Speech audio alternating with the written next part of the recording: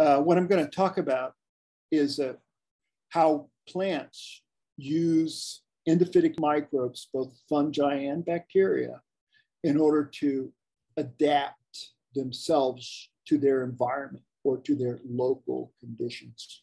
Basically, you know, what is an endophyte? An endophyte is a microbe, any kind of microbe, typically uh, either a bacterium or a fungus that goes in the plant and does not cause disease. Uh, endophyte, endo meaning inside, phyte meaning plant, endophytes actually would go inside the plant cells. And so most of what I'm going to be talking about are endophytes that actually enter into the plant cells. Uh, this plant is a habitat for microbes. And, and in fact, it is these plants intentionally take in microbes from the soil. They'll take in bacteria into their root cells, into the root hairs. They'll take those bacteria all the way up into their leaves and they'll use them throughout the plant. And they will also associate with mycorrhizae, fungi, that will then cover some of the roots or colonize some of the roots and then assist in nutrients. And these kind of associations in plants, they, they tend to be focused on nutrition. That is, the plants use these microbes to get nutrients, but they also have these very important effects on stress tolerance in the plants and growth promotion in the plants, similar kinds of beneficial effects in plants. Also making plants hardier, more resistant to environmental stress, oxidative stress. And I think I'll be talking about some of that as we go along. Uh, this is tomato. You think uh, tomato, inside a tomato is sterile, but in fact, it's not sterile. In fact, tomatoes especially around these seeds, have a lot of bacteria, a lot of endophytic bacteria. And if you take the seeds out like this, some of these bacteria are vectored on the surface of the tomato. Some of them are vectored inside the tomato seed itself.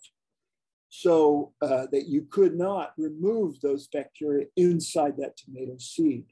And the, the reason for vectoring these endophytes, endophytic microbes, these bacteria in this case, inside the tomato seed and on the surface of the seed with any seed is so that the seedling that germinates is going to have access to those microbes, those endophytic microbes that the, that the parent plant, the mother plant, uh, had, and the mother plant transmit those microbes to the offspring, the seedling, through the seeds. But all of these microbes, whether they're on the seed or whether they're sucked out of the soil, are actually all from the soil. They're all soil microbes. If you look at the identities of these microbes, they're all largely soil competent microbes. It's just that the plant will take the most uh, beneficial microbes, it will take it into its tissues and then put it on its seeds so it can be vectored for that seedling. So endophytes provide plants some benefits. And one is here is uh, that the plants grow better uh, with microbes. They actually will, pr- will produce, the bacteria will produce uh, plant hormones like ethylene, for example, and that will cause plants to grow more and grow bigger. Pathogens, what happens uh, when microbes are on plants is plants become more resistant to diseases. Uh, for one thing, microbes will make the plant itself more oxidatively stress tolerant, and therefore it is not as weak and it's able to tolerate pathogens, potential pathogens. And the other, the other issue is that many of these microbes, these endophytic microbes, especially bacteria, will colonize pathogenic fungi and they will go onto the fungi and they'll cause them to be non-viral. They'll cause them to not cause disease. In fact, some of the fungi, once they're colonized by these endophytic bacteria, they can then become endophytes themselves and grow in the plant and benefit the plant so long as those bacteria are there. Uh, so it's a case where there's an endophytic community forming, uh, but it only happens when you have certain of these endophytic bacteria already present. Endophytes will also, some of them will go out from the plant, out from the plant roots, and they'll colonize other neighboring plants and they'll make those plants less able to grow. They'll go into the tissues of the plants, into the roots of the plants, in a phenomenon that we call endobiome interference. And they'll cause those plants to grow much less. They'll reduce their growth. And so those competitor weeds won't be as competitive or uh, as weedy as they would be uh, if those endophytes weren't colonizing them. And finally, certain of the endophytes can uh, go into plants and cause the plants to be more resistant to being consumed by insects or animals that might eat feed on the plant. Okay, so uh, one issue here, uh, because these endophytes are seed transmitted, frequently seed transmitted, you have to be careful with how you treat seeds. And uh, for example, anything that you do that might kill microbes on seeds or reduce the microbes on the seeds, you don't have to kill them all, but even reduce them is a problem because they need a certain level of microbes in order to have the endophytes that they need to grow properly. And uh, for example, one thing that we do in modern agriculture that is really a no-no uh, is that we, for example, with cotton seeds, we treat our cotton seeds with uh, acids. It's called acid delinting. Then we essentially soak them in concentrated sulfuric acid to digest away the fibers, the delinting, hence lint on the seeds, right? Acid delinting. We remove all those fibers with the acid, but it also kills the bacteria on the surface of the cotton seed. That has a, a very bad effect on uh, cotton seedlings. It makes the seedlings that go from those seeds, that grow from the seeds, it makes them weak. Uh, the plants, frequently our cotton plants, can't ever recover uh, because they're growing in soils that are not diverse in microbes, soils where we, where we essentially destroy or reduce the microbiology in the soil. So the, so the plants can't actually acquire new microbes that because we've removed the ones that are there and because they're not able to acquire new ones, the plants are really at a disadvantage without their microbes. They don't grow well unless you squirt nitrogen on them, them nitrogen. They're, they're required to give nitrogen because they don't have the microbes there. They also require fungicides and pesticides to control insects and herbicides and everything. Cotton is said to be a dirty crop, and it's likely dirty because we've removed those microbes. Probably if we put those microbes back or we treated these seeds a little bit differently, we could probably get away with a lot less agrochemicals anything that you do to hurt the microbes vectored in seeds and on seeds is really bad for the seedling, bad for the plant, bad for the crop. Okay, for example, some seeds have husks on them. Um, Bermuda grass. Bermuda grass seeds come with a, a husk naturally on the seed, and that husk covers the seed and it also is the essentially the structure that vectors the bacteria. And so what we do with Bermuda grass seeds to again to make them germinate faster is people will remove the husk. And, and then after they've done that, then they have to coat this, the seed with fungicides because the pathogens come and eat those uh, seeds up. They germinate faster, but pathogens come right away. Actually, we compromise the Bermuda grass seed because we remove those husks. Anywhere we, where husks are removed, it's a bad thing.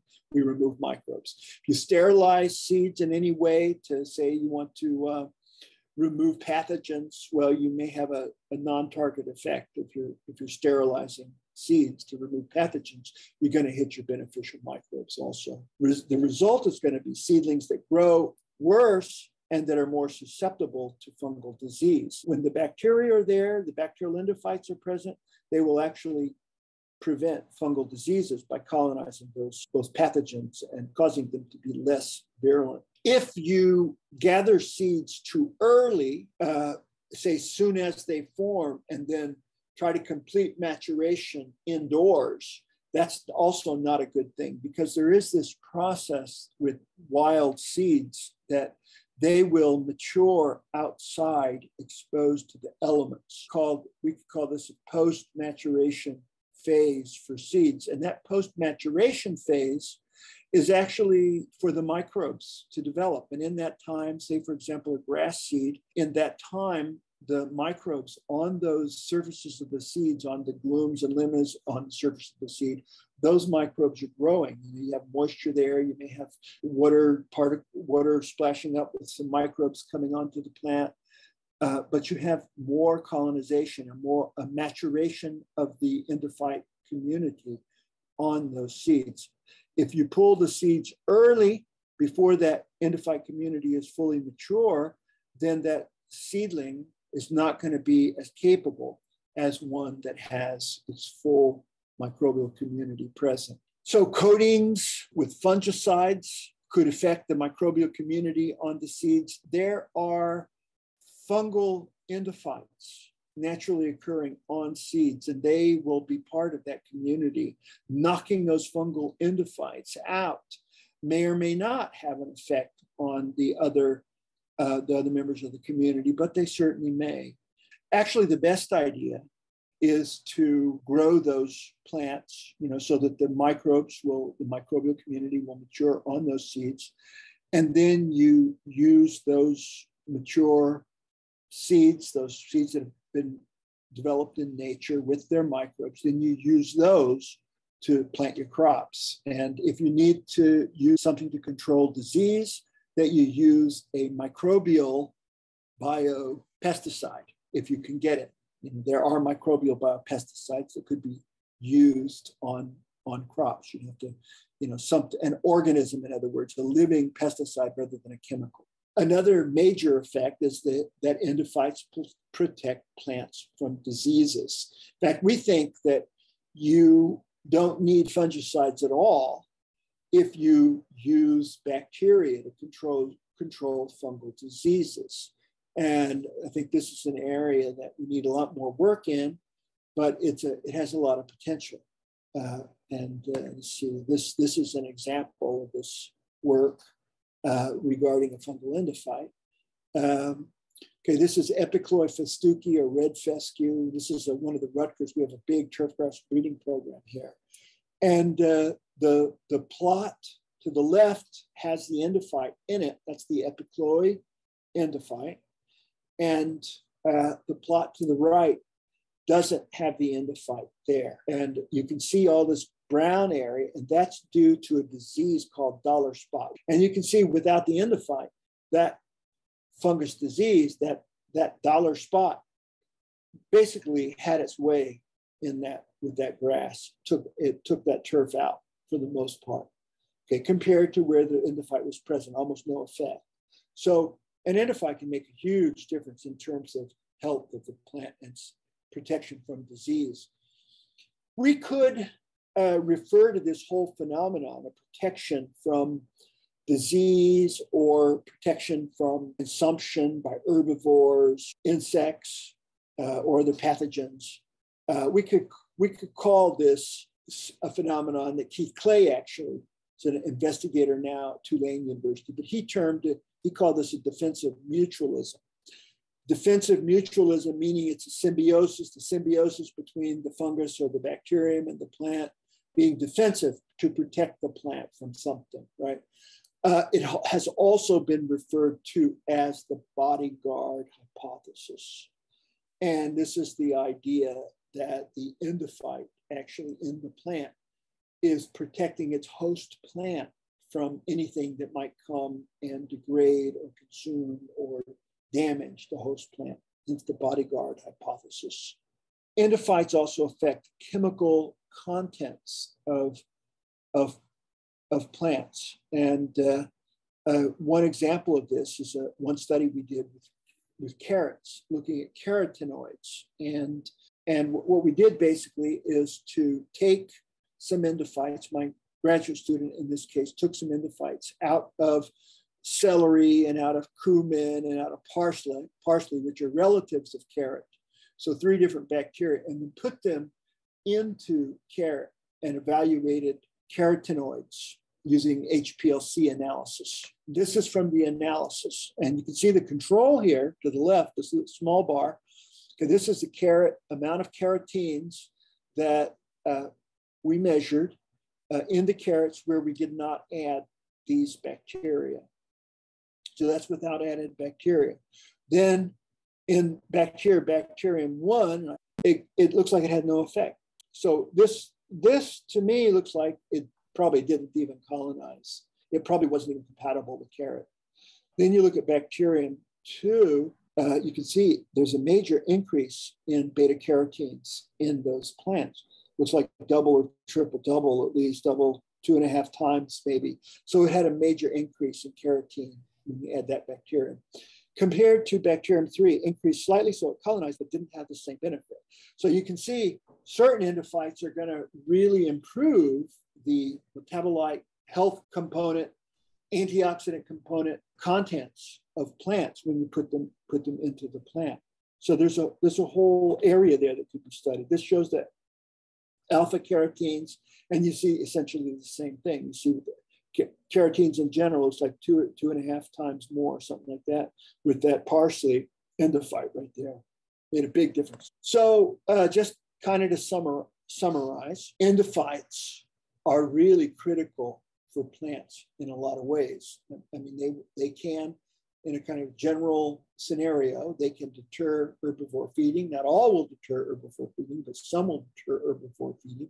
They can stimulate root development. They also stimulate shoot development. For example, if you don't have any endophytic bacteria on roots, you won't have any root hairs. Endophytes will increase nutrients into plants. They're very important for nutrient acquisition from soils. In fact, the microbes will carry nutrients into the plants directly. The endophytes will alter the chemistry of plants. They'll increase antioxidants and things like carotenes and even enzymatic antioxidants. They'll interact with soil pathogens and boost their growth. They'll protect plants from disease. If you remove, it's a simple experiment that you can do actually. If you remove the microbes from seeds and then compare that to seed seedlings uh, grown where you don't remove the microbes, you'll see that the seedlings where you remove the microbes, you're going to be highly susceptible to soil fungal diseases like fusarium and rhizoctonia and stuff like that. The endophytes suppress pathogens on plant surfaces in many, in several different ways, as I mentioned.